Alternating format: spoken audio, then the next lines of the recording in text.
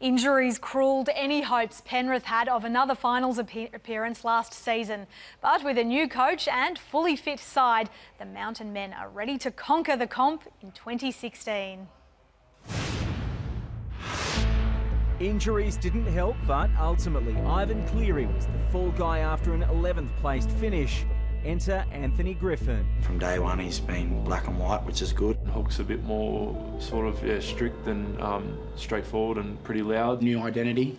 I believe for the Penrith Panthers, uh, the defensive mindset that Hook's engraved into us, that's something that we want to take on, take on board and be one of the uh, top defensive teams. Griffin cast Peter Wallace aside in Brisbane.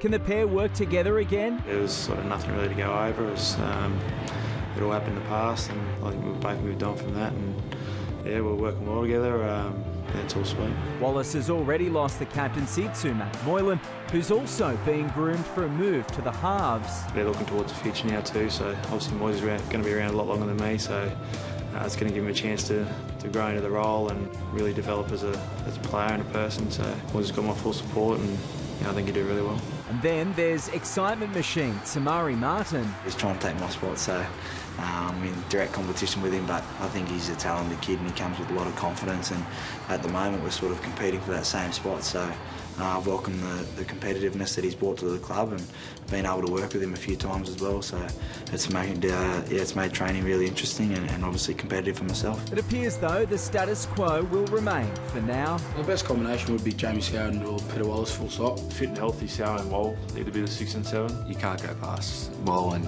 and Sowie. I think um, you need uh, the old boys out there that know how to control a game. A Test and Origin player at the Dragons, expectation follows Trent Merrin to the foot of the mountains. It's been everything that I wanted to move for. It's been challenging. It's it's me stepping out of my comfort zone and, and testing new waters. So yeah, it's been tough, but um, yeah, it's it's everything that I've chose to do for the reason and. Um, yeah, it's, it's definitely going to set us up for a decent year. They'll fly under the radar, but just maybe it could be something special brewing out west. We've trained hard, we're fitter, faster, stronger, and we're just ready to play now. I think we've got the squad there to, to give it a shake, but um, yeah, we've just got to put it all together.